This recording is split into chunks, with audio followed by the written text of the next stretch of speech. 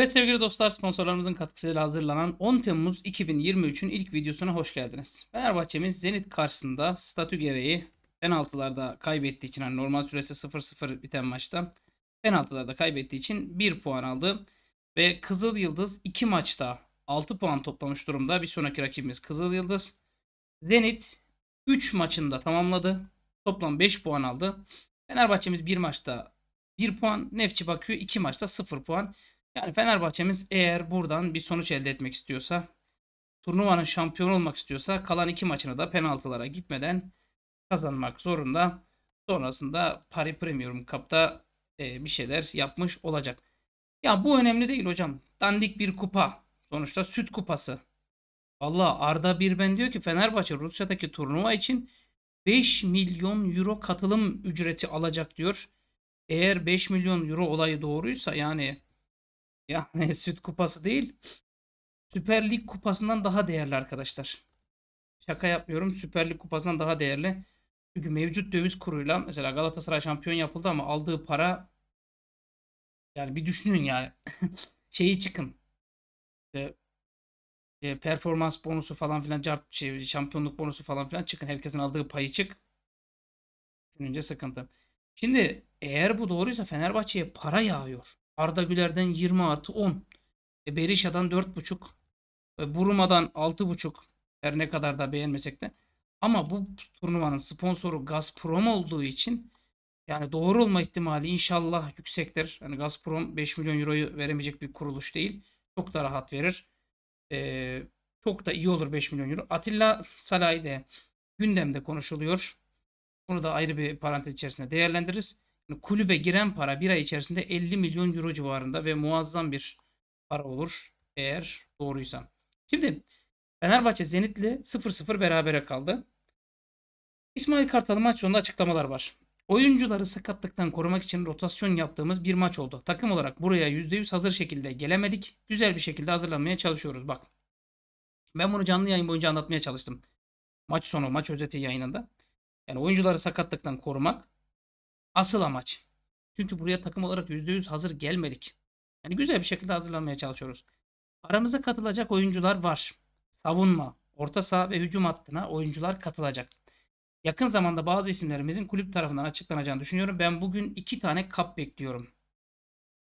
Yani ben bugün iki tane kap bekliyorum. Birisi Umut Nair, diğeri de az sonra konuşacağız. Fenerbahçe futbol takımı her zaman her yerde kazanmak için sahaya çıkar. Kızıl Yıldız'a karşı da kazanmak için sahaya çıkacağız demiş İsmail Kartal. Ancak sevgili İsmail Kartal biraz sanki kazanmak istemez gibi çıktık bu maça. Bilmiyorum artık Zenit'ten para mı aldık? Biz bu maçı kazanmayalım diye. Ama şu var. Yerin dibine soksak da eleştirsek de gıcık bir maç olsa da sonuç olarak nihayetinde hani penaltılarda bile kazansak hoş bir maç olabilirdi. Zamanla yarış ya İsmail Kartal'ın şu cümleleri çok kilit. Zamanla yarışıyoruz şu anda. Ayın 26'sında UEFA Konferans Ligi'nde eleme maçımız var. Bir yandan sakat oyuncular var. Bir de oyuncuların bu kadar uzun süren ligin ardından daha fazla dinlenmesi gerekiyordu. Mustafa Hoca da bunu ısrarla söylüyordu. Sakatlıklar olmadan güzel bir hazırlık dönemi geçirmenin peşindeyiz. Enerji ve coşku gayet iyi durumda. Bugün de bana bunu bana sahada gösterdiler diyor. Bakın sıkıntı ne? 26'sında konferans ligi maçı. Sakat oyuncular var. Oyuncuların bu kadar uzun süren ligin ardından daha fazla dinlenmesi gerekiyor diyor. Doğru. Şimdi Fenerbahçe'de hocam beklediğin imza kimdi? Sertaç Şanlı arkadaşlar. Fenerbahçe Sertaç Şanlı'yla 2 yıl artık imzalamak üzere basketbolda. Ee, yani bunu bekliyoruz. Bolu Spor Fenerbahçe altyapısına yetişen en son Bandırma Spor forması giyen Oğuz Kağan Güçtekin'le 2 yıllık sözleşme imzalamış. Şimdi Fenerbahçe altyapısı gerçekten işliyor. Çok da güzel işliyor. Ama sıkıntı ne biliyor musun? Bir tane Arda çıkıyor. Adı ne oluyor? Hepsi, hepsi Arda Güler çıksın oluyor. Hepsi Arda Güler olmaz. Bak Oğuzkan 24 yaşına geldi. 350 bin euro piyasa değeri var ama hani Fenerbahçe'deyken kütür kütür oynayan takım ahengine uyum sağlayan bir oyuncuydu. Hani Westerlo'ya gitti. Bir şekilde orada e, bir yıl geçirdi. Çok hani beğenilmedi. Bandırma Spor'a kiralandı. Buradan da Bolu Spor'a gitti. Hani bon servisini kaçandılar Westerlo'dan. belirsiz. Ama Süper Lig'de 1582 dakika oynamış. Hani böyle bir oyuncu. Boluspor'a hayırlı olsun diyelim. Yani yolu bahtı açık olsun.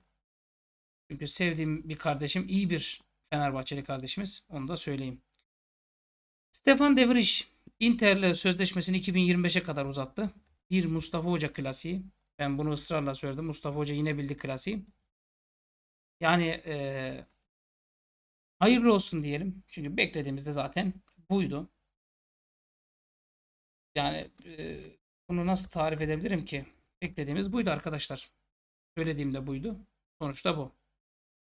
Ben Serdar Dursun'la ilgili bir şey söyledim. Dedim ki Serdar Dursun bir ayıp mı yapmış? Bir şey mi yapmış? Yani tam bilmiyorum ama dedim. Bu yüzden bu sıkıntıdan dolayı Serdar Dursun dedim eee, gönderilmek isteniliyor. Arkadaşlar yönetim kurulumuz Serdar Dursun'a sponsorlarımızdan birisiyle yaşadığı bir olay sebebiyle ceza kesmişti. Bundan zaten hepiniz haberdarsınız. Serdar Dursun bu kararı mahkemeye taşımış. Ve Serdar Dursun bundan dolayı Fenerbahçe'den tamamen ipi kesilmiş durumda. İyi de hocam o zaman niye oynattı İsmail Kartal? Şimdi kalıp başına bela olabilir. Mahkemede çekilebilir. Bir. İkincisi İsmail Kartal. Serdar Dursun'da bir sıkıntısı yok ki. Yani sonuç olarak Serdar Dursun İsmail Kartal'la tartışmadı. Ona bir saygısızlık, edepsizlik, ahlaksızlık yapmadı. Bu Fenerbahçe ile Serdar Dursun arasındaki bir problem. O yüzden İsmail Kartal niye kendi kötü olsun ki? Öyle değil mi? Yani durumlar bunlar. Şimdi sevgili arkadaşlar bizim hazırlık maçı gerçekten mide bulandırıcı bir maçtı. Kabul ediyorum. Doğru. Fakat ısrarla söylüyorum. Bu maç bir hazırlık maçı. Bu maçta sakat vermemek önemli. Ancak önüme düşen bazı şeyler var. Nedir önüme düşen şeyler? Yorumlarda birkaç kişiyi artık engelledim. Çünkü Galatasaray övmekten, Galatasaray'ı ilahlaştırmaktan başka hiçbir vasıfları olmayan arkadaşlar. Gerçekten bak çok özür diliyorum bu cümleyi kullanmış ama artık ilahlaştırma seviyesine gittiler ve insanlar da bunlardan etkilenip aynı yorumu yapıyorlar. Sanki bir merkezden bunlara diyorlar ki hadi saldırın şu şekilde yorum yapın. Galatasaray Angelino ile ilgileniyormuş. Tamam mı? Parades'le ilgileniyormuş. Bir de e, Icardi ile ilgileniyormuş. Hocam bizim başkan armut topluyor şöyle böyle. Birincisi ilgilenebilir. Karşımızdaki takım eşek değil. Ya çok özür dilerim bunu Galatasaray'ı aşağılamak için söylemiyorum. Eşek değil karşındaki takım. Şampiyon olmak istiyorsa bir şeyler yapmak zorunda. Angelino İspanyol bir futbolcu. Sol bek. PES'te çok alırdım ben. Gelişimini tamamlayamayan bir futbolcu. Yani sürekli gelişmek üzere olan bir futbolcu. Sürekli. Her dönem gelişmek üzere olan bir futbolcu. Sol bekte sol e, açıkta oynayabilen bir futbolcu. Hani Manchester City yapmış zamanında. City altyapısından çıkıyor PSV'ye 5.5'a gidiyor. PSV'de tutuyor oyuncu. City 12'ye geri alıyor. Sonra Leipzig'e 2 milyona kiralıyor. Kiralıktan geri dönüyor. Ama ne dönüş? Yani dönerken 35 milyon euroya çıkarıyor piyasasını. 18'i de üstüne ekleyip 20'ye satın alıyor Leipzig. Sonrasında Leipzig'te bir sezonda bu sezon hiç yani hiçbir şey beceremiyor. Oradan Hoffenheim'e kiralanıyor. Orada da ciddi bir düşüş ve şu an Leipzig'e geri dönmüş durumda. Bunu niye anlatıyorum? Gelişmek üzere olan ancak gelişimini tamamlayamamış bir futbolcudan bahsediyorum. Bu her futbolcu için olabilir. Galatasaray almış gibi konuşuyorlar ama 20 milyon euro kulübü 3 milyon euro oyuncu istiyor. Bakın 20 milyon euro oyuncu 3 milyon euro da kendi istiyor yıllık ücret. 20 milyon. Sonrasında e, duyumcu bir Galatasaray Angelino için Leipzig 10 milyon euroya kadar düştü diyor. Bir kere şunu söyleyeyim. Aynısı bizim başımıza gelse ben de aynısını söyleyeceğim. Niye ona düşüyorlar? Bir bit yeni olamaz mı bu işte diye sormanızı istiyorum. İkincisi Icardi transferi. Sosyal medyaya yansıdı. Galatasaray Icardi transferini tamamladı diye ki Di Marzio söylemiş.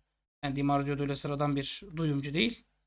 Yani öyle yüzüğünü gösterip tehdit eden, özelden küfür eden bir duyumcu falan değil.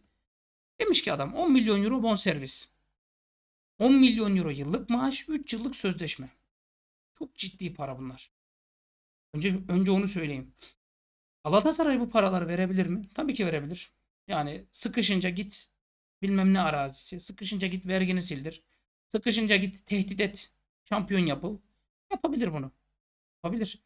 Ancak bir de bunun çıkışı var. Yani mideye bir girişi var, bir de çıkışı var. Bazı hani bazı günahlar demeyeyim, bütün günahlar aslında zehirli bal gibidir. Yersin, yediğin anda tatlıdır ama içeriden seni öttürür. Bu da zehirli bal. 10 milyon euro bonservis. Şimdi bir şey söyleyeceğim. Icardi derecesinde, Icardi seviyesinde bir futbolcu. Kulübü niye ona bırakır? Hocam maliyeti çok yüksek, yıllık ücreti çok yüksek. O yüzden bırakır. Sana kaça geliyor? Senden kaç alacak? 10 milyon alacak hocam. Sözleşme bitimine ne kadar kalmış? Bir yılı kalmış. Galatasaray'ını çok seviyormuş da şöyle aşıkmış böyle aşıkmış. Zamanında 100 milyon euroları görmüş bir futbolcu. Kabul ediyorum. Elbette kalitesi tartışılmaz. Kesinlikle kalitesi tartışılmaz onu söyleyeyim. Süper Lig'de dakika başına gol oranında çok yüksek bir futbolcu. Kabul ediyorum. Yani bunda bir aykırılık yok.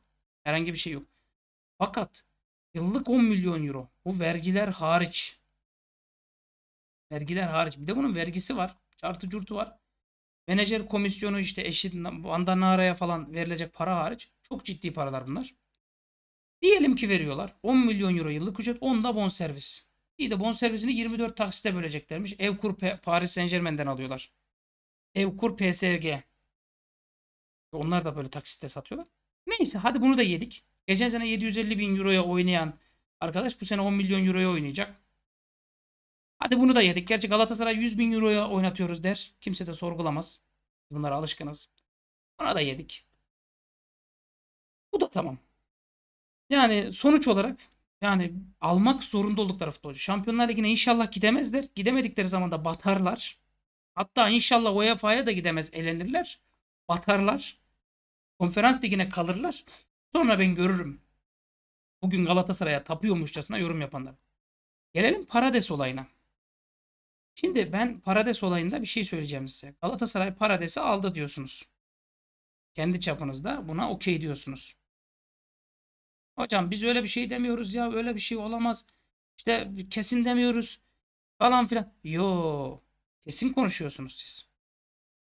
Siz kesin konuşuyorsunuz abi. Şimdi Fenerbahçe ile Galatasaray arasında Parades yarışı. Ezeli rakipler bu kez Leandro Parades için transferde karşı karşıya geldi. İspanyol basınından Todo Fichheiges'ta yer alan habere göre iki ezeli rakip Arjantin orta saha oyuncusunu kadrosuna katmak istediğini aktardı. Paris Saint Germain'de göreve gelen yeni teknik direktör Luis Enrique bu Barcelona'nınkiydi değil mi? E, Parades konusunda oldukça net 29 yaşındaki futbolcunun transfer döneminde yeni bir çıkış yolu aradığı vurgulandı. Kontratın bitimine bir yıl kaldı. Geçen sezonu İtalya'da geçirdi. Juventus'ta kiralık olarak geçirdi. 35 maçta süre buldu. Bir gol bir asist.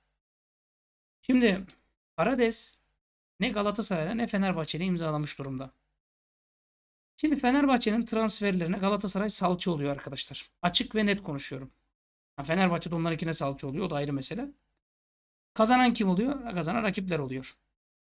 Kazanan rakipler oluyor. Doğruya doğru. Ancak ben şunu söyleyeceğim. Parades'in Parades için kulübünün ne kadar istediğini biliyor musunuz? Bilmiyorsunuz değil mi? Kulübü 10 milyon euro bonservis, futbolcu da yıllık 6 milyon euro para istiyor cash. Ya diyelim ki bunu da becerdi Galatasaray. 10 artı 10 20 bonservise 6 artı 10 16 milyon euro iki futbolcuya yıllık verecekler. Diyelim ki kabul. Bu arada e, Icardi için kulüp 10 milyon euro istiyor. Icardi, Icardi'nin kendi de 8 milyon euro istiyormuş imza için. Bilginiz olsun. Diyelim ki aldılar. Şu ana kadar Di Maria'yı aldılardı. Firmino'yu aldılardı. Yalansa buyurun çıkın adam gibi, erkek gibi, delikanlı gibi değil ki. Yalan biz öyle bir şey hiç söylemedik. Medyada hiç konuşulmadı. Dybala'yı aldılardı. Başka? Devirici aldılardı. Öyle değil mi arkadaşlar? Sol beke birini, sağ beke birini dünya ya en az 10 tane süperstar ayarında ismi aldılardı. 10'unun da babası şeyini aldılar. Yani 10'unu da alamadılar. Onu da gelmemiş oldu. E siz sonuç ne oldu? Sonuç şu. Galatasaray aşığı Fenerbahçeliler de çıkıp 7-24 Galatasaray şeyi yapmaya başladılar. Savunuculuğu yapmaya başladılar. 7-24 Galatasaray övgüsüne başladınız. Size yazıklar olsun. Size hakikaten yazıklar olsun. Fenerbahçeliyim diyorsunuz ama Fenerbahçe dışında her takım size şirin gözüküyor, sempatik gözüküyor. Fenerbahçe dışında her takımı övüyorsunuz ama söz konusu Fenerbahçe olunca da rezil ediyorsunuz. Sebastian Simanski. Şimdi Galatasaray bunu da almış. Erden Timur demiş ki Simanski ile ilgilendik. Görüşmemiz oldu. Değerli ve iyi bonservis ödenebilir bir oyuncu. Maaş konusunda belli rakamların üstüne çıkmıyoruz. Çıkamıyorlar. Ben Simanski'nin Galatasaray'dan istediği yıllık ücreti söyleyeyim size. 2,5 milyon euro. Bak bonservisini ödeyemeyiz demiyor. Öderler. 700 takside bölerler. Kimse nasıl olsa sorgulamaz. 15 verdilerse 2 verdik derler. Kimse nasıl olsa niye verdiniz demez. Yaşandı bu süreçler biliyoruz. Kendileri açık açık itiraf etti menajer ücretlerini. Yıllık ücretini veremiyoruz diyor. Niye? Babayı her diye verecekler. Çok özür dilerim ama yani bilmem ne gibi yapmak zorundalar diyor. Taraftar baskısı o kadar yüksek ki bilmem ne gibi Icardi'yi getirmek zorundalar. Ve bütün parayı orada harcamak zorundalar. Ne olacaktı? Sakaboya'ya gidecekti. E, Kerem gidecekti. Sakaboya'ya 50 milyon euro. Kerem'e 70 milyon euro teklif gelecekti. Ne geldi? Ya hiç çok tuhaf değil mi? Fenerbahçe yıllardır şampiyon olamıyor. Ama yıllardır rekor fiyatta futbolcu satıyor. Lan patır patır bizim beğenmediğimiz çöp dediğimiz futbolcuya rekor. Lan Buruma'yı bugün kaçınız beğeniyorsunuz? 6.5'a satıldı 6.5'a vicdansızlar. Berisha'ya çöp dediniz 4 yazdırdık oraya. 4 değil bugün 9 yazdırsaydık 9'a giderdi Berisha. Fenerbahçe'de beğenmediğiniz futbolcular gidiyor. Niye biliyor musunuz? Sizin Galatasaray aşkınız yüzünden. Yere göğe sığdıramıyorsunuz. Sığdıramıyorsunuz. Hocam Torreira'da rakipte Torreira var sende Crespo var. Kendini yere atma rekoru kıran hakemler tarafından kırmızı gösterilmeyen Torreira mı? Ben size samimiyetimle söylüyorum. Çıkarın bu sezonun. Bütün faullerini çıkarın. Verilmeyen kartları çıkarın. En az 10 tane Galatasaray'a kırmızı çıkarttırırım. 10 tane. Hadi 2 tane de bize çıkmamış olsun ya. 2 tane de bize çıkmamış olsun. 10 kırmızıya 2 kırmızı olsun. Hadi. 10 kırmızı çıksaydı bugün o sizin aşık olduğunuz, hayran olduğunuz futbolcular ne diye anılacaktı? MHK Başkanı Ahmet İbanoğlu olmuş. Lale Orta danışmanlık görevinde olacakmış. Hakan Gündoğar'ın özel haberi. Hani soyadı İbanoğlu'ysa Galatasaraylıdır kesin. Soyadına belli. İban var içinde. 65 yaşında Türk eski hakem. Bir de bunları çok hoşuma gidiyor. Boy 1.76. Sağ ayaklıymış. Burcu da oğlakmış. Abi bu bilgi önemli. İnsan MHK başkanının burcunu merak ediyor tabii. Ben mesela MHK başkanının burcunu duymasam şok olurum. Hayretler içerisinde olurum. Ne yaparım bilmiyorum. Gerçekten şok olurum yani. Şimdi arkadaşlar bakın. Fenerbahçe'den az önce anlatırken şunu söyleyeyim. Bu sezon şu ana kadar olan transfer gelirleri. Hani Atilla Salahi de gündemde olduğu için söylüyorum. Hadi Atilla Salahi de e, konuşulan rakamdan dolayı söylüyorum. 14 konuşuyor. Hadi o da gitse 45 milyon euro. 44-45 milyon euro para. Türk futbol tarihinde lig ikincisi olup da bu düzeyde bir transfer geliri elde eden kulüp var mı arkadaşlar? Yok. Bunun daha da arkası gelecek ha bilginiz olsun. Ya başkanı eleştiriyorsunuz eleştirin ama tebrik edeceğiniz yeri de edin. 7-24 Galatasaray güzellemesi yapıyorsunuz. Allah aşkına şu transferleri Galatasaray yapsaydı herhalde aşık olurdunuz ya. Hani eşinizden ayrılıp Galatasaray'la falan evlenirdiniz herhalde. Ya yazık günah ya. Yazık günah. Kim Min Bayern Münih'e imza attıktan sonra Alman devi Münih Fenerbahçe'ye sonraki satışta %10 pay olan 5 milyon euro ödeyecek demiş. Milliyetin haberi. Ah keşke milliyetçiyim. Keşke bu palavra doğru olsa. O kadar çok isterim ki. Bu yalanın doğru çıkmasını o kadar çok isterim ki. Bugün 5 milyon euro var ya Fenerbahçe'ye öyle bir ilaç olur. Ama kap açıklamasını açıp bakın arkadaşlar. Benim duyumuma güvenmenize gerek yok. Açın kap açıklamasını bakın. Orada öyle bir şey yok. Orada öyle bir durum yok. Şimdi gelelim Zurna'nın Zort dediği yere. Dijiku. Dijiku resmen Fenerbahçe'de arkadaşlar. Resmen Fenerbahçe'de. Hocam bu kadar kesin konuşuyorsun. Mesela Kento şeyde de Zaha olayında da bu kadar kesin konuştun. Niye olmadı? Arkadaşlar ben size süreci anlatıyorum. Ben size futbolcunun durumunu anlatıyorum. Verdiğimiz parayı anlatıyorum. Futbolcunun dediği cümleyi anlatıyorum. Siz bana nav nav diyorsunuz. Umut Nair. Bakın Umut Nair ve Dijiku. Bugün iki kap bekliyorum ben. Bugün iki tane kap bekliyorum. Ha şundan bak şundan. iki tane bekliyorum bugün. Hocam kulüp yapmaz sen böyle dedin ya. Ya kusura bakmayın ama bilmem ne gibi yapmak zorunda. Mecbur yapacak artık. Mecbur. Taraftar artık çıldırdı. Ya dünkü futbol. Ya kötü bir futbol kabul. Sakatlık vermeme futbolu. Şimdi Dijiku iyi bir transfer. Bir iyi bir stoper. Hocam biz Diciku'yu alıp Allah'ını seversen ne yapacağız? Arkadaşlar senin Dijiku dediğin futbolcu Ciku herhalde Ciku diye okunuyordur. Bu arkadaşı sen Gustavo Henrique'nin yerini aldığını düşün. Transferi gerçekleştirirsen. Bizim çok üstünde durduğumuz muhteşem bir sağ stoper var. Hani solda Luan Perez oynatabiliriz. Salah'ı giderse. Gitmese Salah'ı. Ama hani düşünsene bak Atilla Salah'ı giderse bir de sol beke yani sol stopere müthiş birini çekebilirsin. Ben şunu söyleyeyim. Dijiku bitti arkadaşlar. Bunun öncesini şunu söyleyeyim. Sercan Hamzoğlu dedi ki Fenerbahçe Ciku'nun menajeri için transferi için menajerliğini yapan abisiyle 3 yıllık prensip anlaşmasına vardı dedi. Başkan Ali Koç onay verirse Ganalı stoper resmi sözleşmeyi imzalamak için kulübe gelecekti. Bu arada Ganalılar da bizi seviyorlar. Ayrı bir bağ var Brezilyalılar gibi. Yani Brezilyalı ve Ganalı futbolcuların bizde bir sempatisi var. Onu da söyleyeyim. Dedi ki Ali Koç onay verirse resmi sözleşme imzalamak için kulübe davet edilecek dedi. Ve sonrasında Başkan Ali Koç onay verdi. Ciku Fenerbahçe'de diye de e, özel kapına ekledi. Oyuncu bugün Türkiye'ye gelip sağlık kontrollerinden geçecek ve bir pürüz çıkmazsa da resmi sözleşmeye imza atacak arkadaşlar. Yani transfer tabiriyle hayırlı uğurlu olsun. Ha, uğurlu demek mantıklı değil de hayırlı olsun diyelim. Ciku Fenerbahçe'de diyebilirim. Şimdi bonservissiz alındı. Evet. Atilla Sanayi'nin satılma durumu var. Evet. Bari parayı stopere verelim. Kıyıp kütür kütür stoper alalım. Bak Bekao mesela çok konuşuldu edildi. Biz artık geri adım attık. Ya kötü futbolcu değil ama hani Ciku ile arasında bir fark var mı? Ben göremiyorum. Hemen hemen aynı futbolcular gibi geliyor bana. Bilmiyorum siz ne dersiniz? Katılır mısınız? Katılmaz mısınız ama hemen hemen bana aynı futbolcular gibi geliyor. Yani hemen hemen aynı futbolcular gibi geliyor. Vallahi bilmiyorum. Simanski'yi çok soruyorsunuz. Onu diğer kısımda. Çünkü, çünkü çok uzattık. Ama Atilla Salahi'de bir şeyler bekleyin. Mesela Gustavo Henrique. Allah aşkına Gustavo Henrique ile hani birçok futbolcuyu eşdeğer tutarsınız. Hocam bu da bundan aynı diye. Ben şunu söyleyeyim. Ciku transferi az transfer değil. Az transfer değil. Biz asıl hamlemizi çok önemli bir isme yapacağız.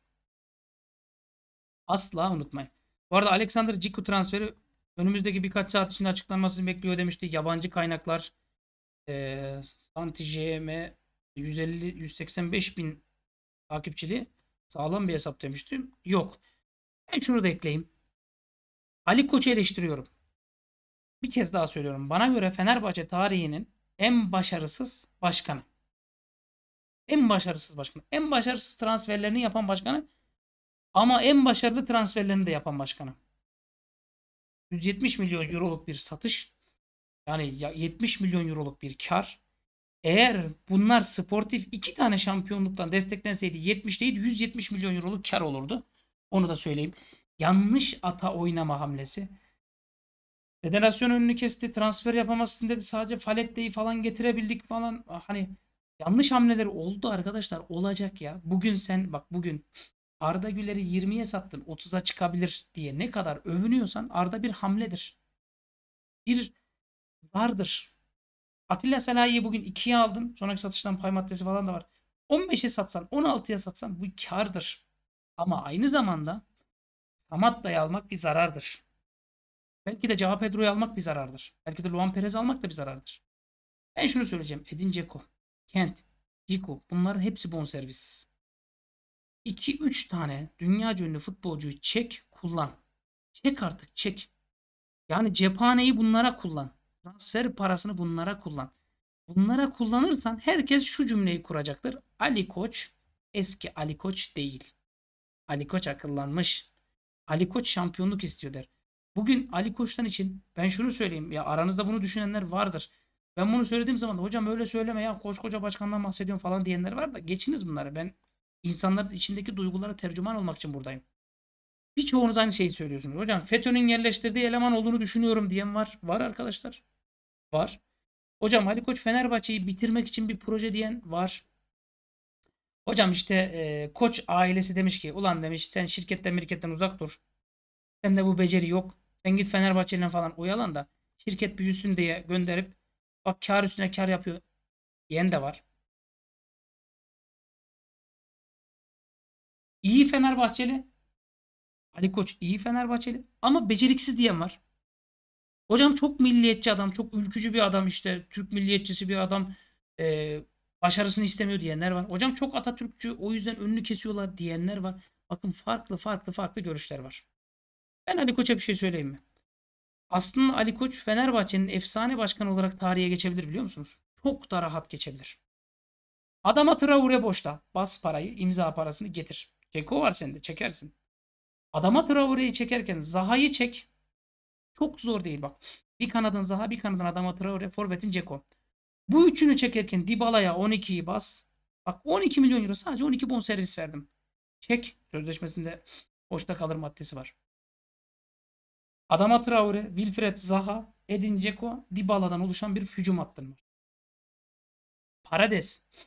Kulüp Galatasaray'a 10 çekiyor. Sana 6 çekiyor. 6 milyon euro bon serviste alabilirsin. Çek. Çok zor değil. Çok zor değil Parades. Çek abi. Crespo İsmail. Emin olun Crespo İsmail Parades'te falan oynar. Bak çok iyi bir 8 getir. E, Simanski e, 12 falan 9 falan ona konuşuluyor. 8 verelim ya. 8 ona ver. 6 ona ver 14.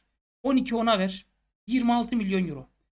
Simanski, Parades, önde Dybala, sağda Zaha, işte Traore, solda Zaha, forvette Ceko. 30 bile yapmadı. 4 milyon euroyu da Mert Müldür'e bas. Sağ bekine çek. O sahayı sat. Para ediyorsa sat. Arao'yu sat. Para ediyorsa. Kaldı ki senin Salah'ı sat. Oraya da Kütürükeri gibi bir stoper çek. Ki Premier Lig'den bir stoperle görüşüyoruz. Belli mi olur belki de transfer ederiz. Al sana Fenerbahçe. Welcome to şampiyonluk. Hatta belki de welcome to konferans kupası. Hiç belli olmaz arkadaşlar. Bak hocam İsmail Kartal'dan bir cacık olmaz. Türk teknik adam. Bazen Türk teknik adam kadroyu bak, bazen teknik direktör takımı yönetir. Bazen de takım teknik direktörü yönetir. Bu dediğimi unutmayın. Bir öğretmen olarak söylüyorum. Bazen girdiğiniz sınıfa siz öğretmenlik yaparsınız. Bazen de sınıf size öğretmenlik yapar. Size öğretir. Ben bunu çok yaşadım. Yani konuşma özürlü yani konuşma özürlü öğrencim vardı. Özürlüydü kendisine de söylüyordum. Konuşma özürlüydü. Konuşmuyordu. Bir şakılamaya başladı. Tamam dedim sistemi buldum. O bana öğret. Ondan sonra aynısı. Harfleri yanlış söyleyen öğrencim vardı. O bana öğretti. Sonra ben de millete öğretmeye başladım. Okuma yazmayı kısa sürede öğretmem lazımdı. Çünkü veli ilgisi sıfırdı. Öğrenciler taşınacaktı. Çok kısa sürede öğreten yöntem buldum. Onlar bana öğretti. Anladınız mı? Sonra başarı geldi. Başarı kimin? Hepimizin. Ama öğretmen olduğum için başarı benim güya. Hayır hepimizin. Öğrencilerden. E, takım da aynı bunun gibi. İsmail Kartal'a şu takımı kur. Bu takım konferansı kazanırken İsmail Kartal'ı göklere çıkarır. Fatih Terim zamanında UEFA kupasını kazanan teknik direktör. Sorun bakalım kaç kişi Fatih Terim'dir? Hacı olmasaydı, Emre olmasaydı, Okan olmasaydı, Popescu olmasaydı falan, Tafarel olmasaydı derler. Doğru mu? Çünkü bunlar da bir pay. İşte FETÖ'cü METÖ'cü diyorsun. Hakan Şükür, Arif Erdem. Galatasaray'ın efsanesidir. Bunlar. Galatasaray'ın efsanesidir. Uğur Tütüneker, Hakan Şükür, Arif Erdem. Bunlar efsaneleridir. Vahap Beyaz, Ahmet Çakar. Yani bunların altın harflerle yazılır. Şuralarında dört tane yıldız varsa üçü belki bunlardandır. İkisi belki bunlardandır. O kadar efsanelerdir. Ama buradaki mesele ne? Takım teknik direktörü oynatır. Ya da teknik direktör takım oynatır. İnşallah Ali Koç az önce saydığım düşüncelerdeki gibi hain vesaire şu bu değildir de gerçekten Fenerbahçelidir. Önü kesilmek istenen Fenerbahçelidir. Şu kadroyu kurması çok muhtemel. Bakın 30 milyon euro hala hazırda param var. 31 milyon euro param var. Salah'ı bugün 14-15'e gitse 45 milyon euro param var. Yarısını borçları ödemek zorundasın. Kabul. Ama arkadaşlar bizim bu sene ödeyeceğimiz TL bazındaki para TL bazındaki para zaten girdimiz var. Kulübe kazanç var. Girdi var. Sponsorluk var. O yüzden bu paranın tamamını harcayabilirsin. Yani tamamını harcamana da gerek yok. Belli bir limitin var harcama limitin. Bunlar arttıkça limite de ekleniyor. Bizim limitimiz 2 milyar civarındaydı. 30 milyon. Ekleyin oradan 750 daha. Tabii hepsi eklenmiyor. 500'ü falan ekleniyor da. 1,5 milyar lira limitim var. İnşallah Ali Koç bu şansını doğru kullanır. Dediğim gibi Ciku ve Umut Nair resmen Fenerbahçe'de bu arada Umut Nair olayını az konuştum sanki ama daha önce bu videolarda konuştuğum için söylüyorum. Kulübüyle anlaştı bonservisini aldı eline. Fenerbahçe bonservis ödemeyecek. Yani bana gelen duyum böyle öderse de benim duyum yanlıştır. Ama Umut Nair Fenerbahçe'de, Ciku Fenerbahçe'de. Bugün her ikisinin de kapını bekliyorum. Bugün iki kapa birden hazır olun arkadaşlar. İyi ki bu kanaldasınız. İyi ki bu kanalın takipçisiniz. Abone olduğunuz için, beğendiğiniz için, izleyip değer verdiğiniz için teşekkürler. Görüşmek üzere.